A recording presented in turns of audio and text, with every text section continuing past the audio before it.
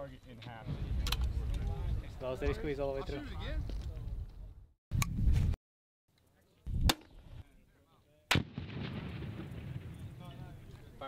This isn't your typical air wing unit.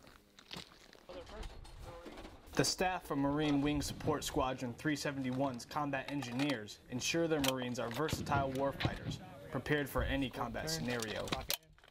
Maybe maybe we wouldn't leave here with master. They wouldn't be masters of it, but they'd be proficient enough, and just be continuing on training, trying to get them out here maybe next quarter.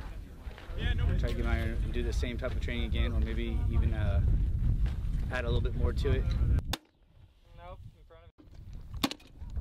You never know what's gonna what's coming next. We don't know where we're going next, so you might as well prepare for the be called down to do anything, from rifleman to our day-to-day job.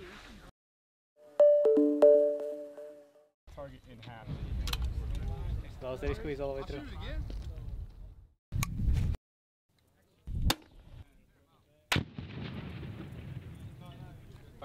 This isn't your typical air wing unit.